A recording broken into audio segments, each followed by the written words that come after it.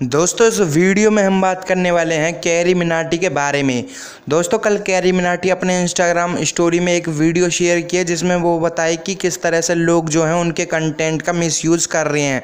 यानी कि उनके डायलॉग्स को लेकर किसी भी वीडियो में जोड़कर किसी का भी रोस्ट कर दे रहे हैं। और दोस्तों, इस बारे में बात करते हुए कैरी मिनाटी कुछ ये कहे। ओके okay गाइज़ तो अब क्या हो रहा है ना कि कुछ लोग क्या कर रहे हैं मेरे वीडियोस से, ठीक है, मेरे दो तीन डायलॉग्स उठा रहे हैं। और किसी और वीडियो में इस्तेमाल करके टाइटल लिख रहे हैं कैरी विनाटी रोस्ट ये ये ये। तो गाइज़ देखो यार, इससे बहुत गलत फहमी पैदा होती है तो यार प्लीज़ जितने लोग ये काम कर रहे हैं, मत करो। और अभी जितनी वीडियोस हैं ऑलरेडी ऐसी सी तो उनकी मैं सेटिंग कर रहा हूँ। तो आई एम सॉरी गाइज़ मैं कॉपीराइट के टाइम पे हमेशा लीनियंट टूटता हूँ बट ये वीडियोस मैं नहीं रहने देता। आज मैं एक आर्टिकल पढ़ रहा था कैरी मिनाटी रोस्ट ये ये ये।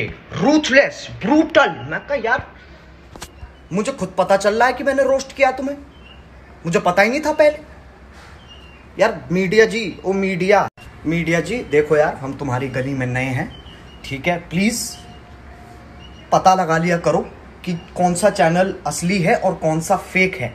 फिर अपनी खबर बांटिए। फिर उस, ये जानने के बाद गाइस मैं तुम्हें वापस बोलूँगा, जो भी तुम लोग ऑनलाइन पढ़ते हो आर्टिकल्स देखते हो, वो ज़रूरी नहीं है कि वो सही हो। या सौ परसेंट सही हो। और दोस्तों एक आर्टिकल में लिखा हुआ था कि कैरी मिनाटी सत्ताईस करोड़ के मालिक हैं। और इस बात पर कैरी मिनाटी कुछ ये कहे।